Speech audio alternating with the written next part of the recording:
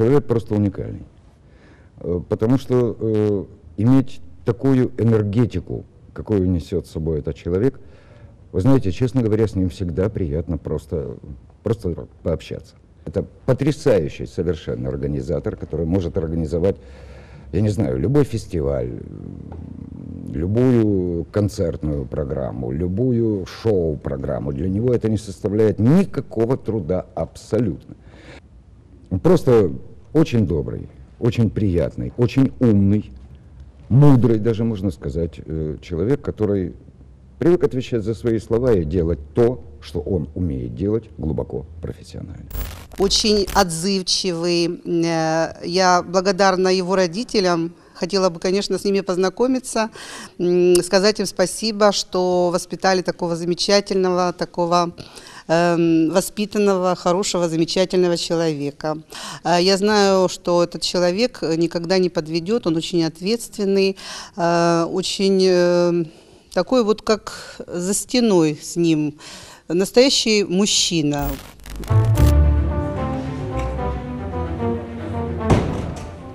день, уважаемые телевизионные работники. Что вы хотите, чтобы я сказал об этом интереснейшем человеке Артеме Александровиче Свистуне? Я вам скажу, может быть много и может быть коротко одновременно. Во-первых, это мой друг.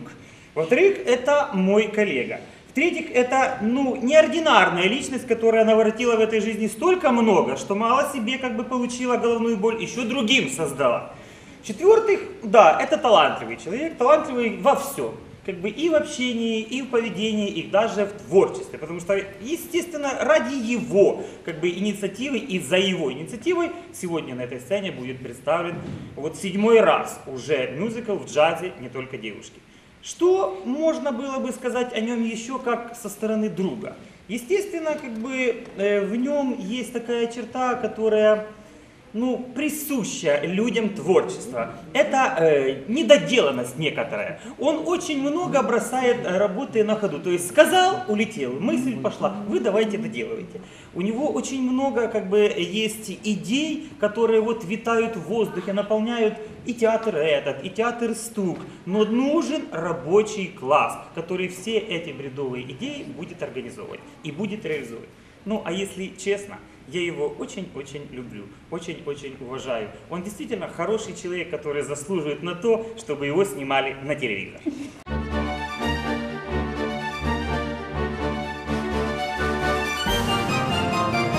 Вся наша жизнь то гра, а люди в ній актори. Так сприймав світ Шекспір. Якщо ти професійний актор, де гра, де життя?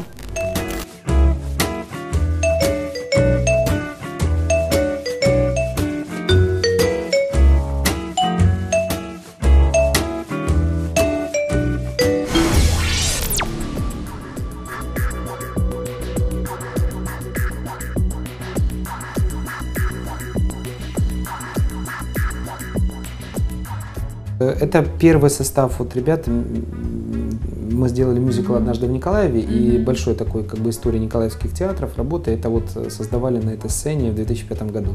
И это была основа как бы тогда. И потом уже в последующем, Танюшка тогда тоже, по-моему, стихи писала там для, для песни тогда делали, плюсовочки. Но это таки а, ажиотаж был хороший. Там было я уже не вспомню, но около 200 человек артистов точно было. Это все, все аматорские театры приезжие, николаевские, мы их объединяли в одну сюжетную линию. Артем, а как э, в мире шоу-бизнеса, как вы вообще вот остаетесь таким же светлым и позитивным человеком? Как вы в себе сохраняете это равновесие? Вообще грязи очень много. И в любой сфере, в любой работе. Но э, нужно быть выше этих чувств. И не поддаваться сплетням, каким-то разговорам, каким-то вот склокам, а оставаться человеком. И э, очень часто э, нужно уметь прощать прощать, если человек тебя обидел или какие-то расхождения. Вот это мой принцип такой по жизни. Говорят, вот, там, ты же, это же человек тебя подставил, подвел. Говорю, нет, надо давать всегда второй и третий шанс. Ну, бывает конфликтная ситуация, но шоу-бизнес это такое громкое слово. Э, Николаеве его просто нет, потому что в Николаеве есть вот как бы отдельная группа людей, которые занимаются как бы организацией мероприятий, концертов, но такой живой конкуренции, к сожалению, нет. В любом случае мы все свои режиссеры своей судьбы, значит мы, может быть, где-то куда-то уходим э, в себя и закрываемся, а где-то нужно раскрыться и наоборот довериться людям. Ну и может быть нужно оправдать того человека, почему он именно так поступил. Почему не поступил по-другому. Ну, самое главное, что если тебе плюнули в спину, то значит ты идешь вперед.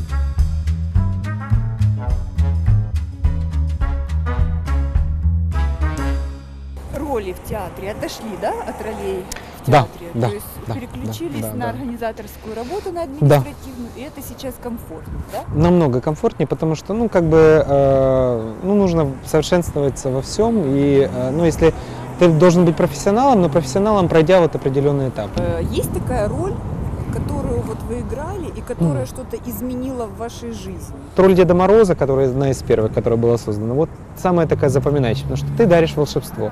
А вот вы влюблялись э, в тех, с кем играли какие-то роли?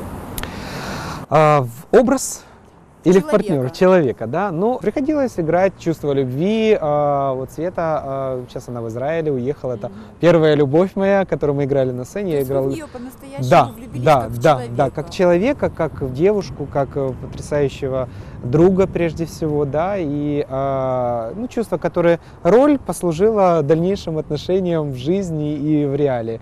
А есть роль, э, которая э, неудачная, от которой вот чувство и ощущение незавершенности какой-то или неудовлетворенности, М. или не хотелось ее играть, но ее нужно было сыграть, потому что Я думаю, нет. Э, Я думаю, самая сложная роль была, жизненная роль. Я только начал преподавать в университете культуры в 2003 году, и э, я практик, я больше как бы режиссера массовых праздников, там, э, анимация, там еще. И мне дали сложный предмет «Основы этнологии». Я тогда, помню, сидел как культуролог, как магистр культурологии, я сидел кропотливо, готовился к каждому предмету, рассказывая, и нехотя, нехотя приходил, и студентам сразу же говорил, ребята, я сразу вам говорю, это хороший предмет, его нужно знать, но очень много талантливой молодежи, которые не могут себя реализовать. Они боятся, думают, это нереально выйти на сцену, нереально там э, сделать зале презентацию своей книги или что-то еще. А это намного проще, и самое главное не бояться, не бояться вот как бы работать и помочь этим ребятам вот реализовать свои возможности, свои силы. У, у каждого миссия, вот. Вот может быть даже так, потому что у каждого человека есть своя миссия, которую он должен выполнить. Если миссия, ты начинаешь заниматься не тем, что ты должен, мне кажется, э, жизненные такие вот э, уроки, э, потом же тебя, ты натыкаешься, и ты понимаешь, ага, наверное, ты не туда пошел, или ты не не в то русло. Ну, я думаю, что жизнь учит людей. а у вас есть страхи? Одиночество. Самый большой страх творческого человека – это быть одиноким. Когда в свое время там мечтал быть министром культуры, да, э, плохо тот солдат, который не мечтает быть генералом. Э, ну, хотя, понимаешь, растешь и думаешь, что это все-таки временные должности, и это ничего этот человек за год, за два не сможет сделать. И министр культуры номинально, э, будь он даже уникальным, универсальным человеком, ничего не сможет решить, потому что это целая система, система восприятия работы. Поэтому нужно по чуть-чуть, по крупицам изменять это. То есть столица э, страны культуры быть в городе Николаеве, Конечно, да? да, Потому что да, министр да. культуры у нас, Да. в принципе, уже здесь есть. Да, да, да. Э, Самые дорогие люди это действительно родители. Это я спасибо очень благодарен матери, отцу.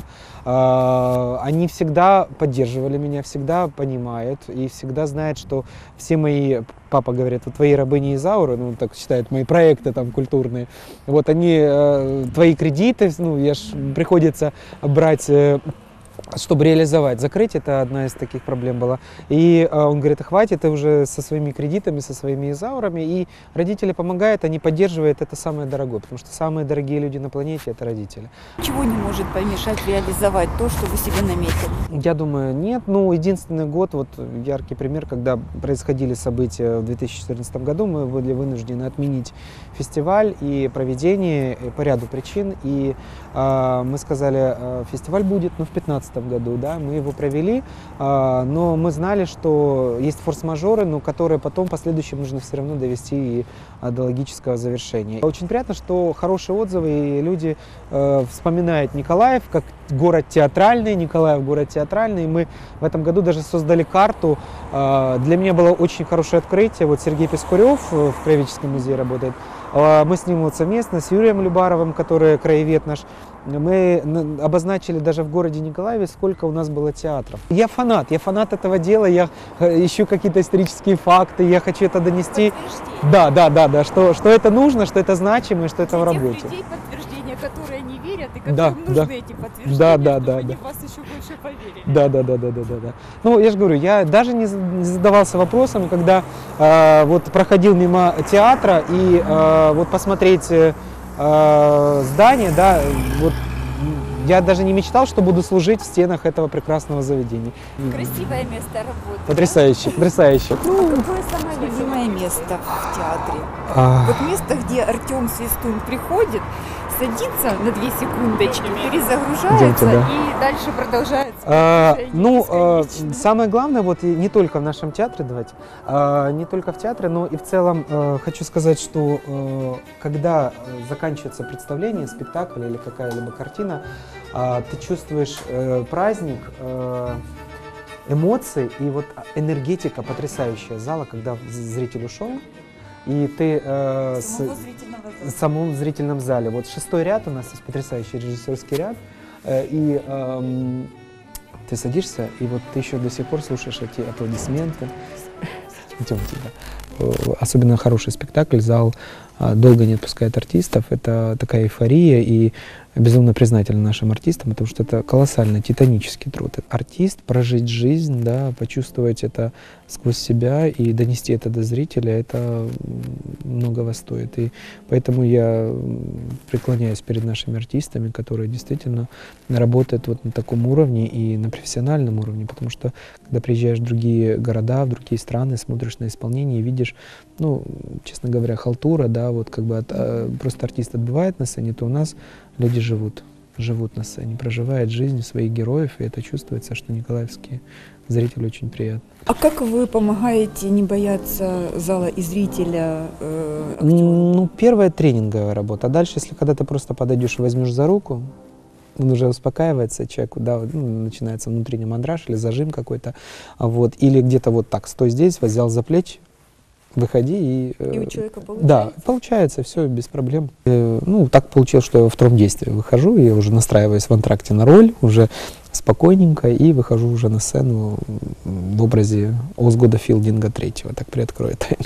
И полностью проживаете это? Да, конечно, конечно. И вдвойне сложно, потому что тут надо показать и э, уровень и мастерство э, ребятам, которые на Мгм. сцене, да, и дать понять, и не, не как бы быть в, одном, в одной пряжке, в одном тандеме, вот, ну, немножко посмешить зрителя, потому что хочется все-таки комическая, хорошая роль, хороший образ, и в тандеме вот показать э, хорошую комедию. Закончился спектакль, закончилась роль. Шестой Как ряд, вы- как седьмое место, энергетика, сел, успокоился, по- проверил, чтобы весь реквизит, чтобы все было на месте, поблагодарил ребят, и потом спустился в зал, и вот, э, чувствовал, что да, этот проект состоялся, нужно творить дальше, нужно создавать новый.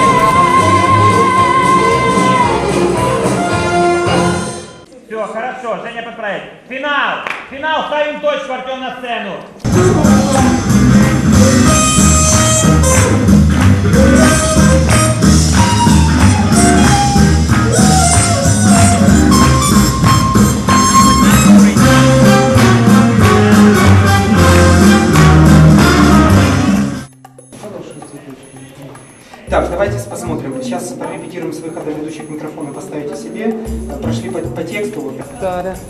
Там. Виктор Леонидович. Виктор Леонидович, занавес закрывать или он вам нужен? Закрываем. Артем, напряжение организационное спало. Сейчас роль. Что происходит с настроением? С настроением я плавно отключаюсь от того, что было, и вот сейчас настраиваясь на работу, которая будет, да, отключаясь от административной, отключаясь от всего, и сейчас еще мысленно на сцене, чтобы вовремя ребята там все сделали, ну, я думаю, команда хорошая, Оксана Борисовна, помощник режиссера, справится, а сам режиссер на свете, это звук Дениска наш, он молодец, я думаю, что все будет хорошо. А вот момент, когда все-таки переход в роль. Какой тумблер переключаешь? Я думаю, что антракт это будет тумблер. Все, я отключился от административной части, э, я уже настроился, вот сейчас я переодеваюсь, э, готовлю. Ну, выйти на улицу, посмотреть на небо, и все будет хорошо. А последний штрих будет, когда э, наша э, руководитель хора, Кружка Сил, наносит мне усики. Вот тогда полностью уже чувствуется э, настрой, э, чувствуется вот эта вальяжность, серьезность. Вот, ну и включается директор, включается артист. Артем Свистун, майстер перевтілень, директор, актор, фанат своїх ідей. Крокуйте рішуче до своїх мрій. Просто люди міста Миколаєва.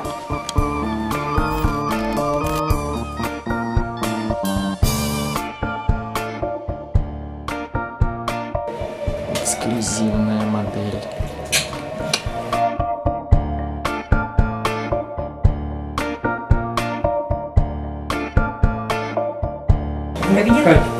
В кабину, в номера.